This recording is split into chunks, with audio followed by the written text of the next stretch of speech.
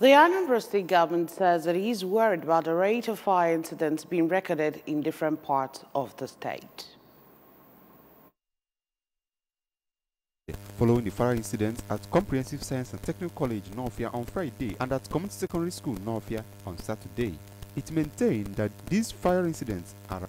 this is according to a press statement released on Sunday in Awka and signed by the Commissioner for Special Duties, Honorable Beverly Bazum Nkemdiche, following the fire incident at Comprehensive Science and Technical College Northia on Friday and at Community Secondary School Northia on Saturday. It maintained that these fire incidents are avoidable if everyone joins hands to observe the fire safety protocols and reduce the rate of fire outbreaks in the state. The press statement which called on all residents, business owners, markets and town union leaders to implement basic fire safety protocol in their residences business premises, markets, and communities listed some of the protocols to include clearing of bushes and dry grasses in their surroundings and localities, prevention of indiscriminate bush burning,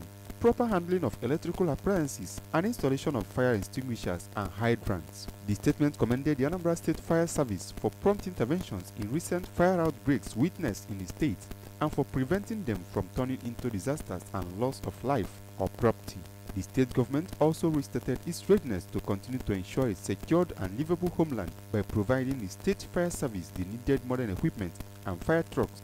to continue to fight fires to a standstill in the states.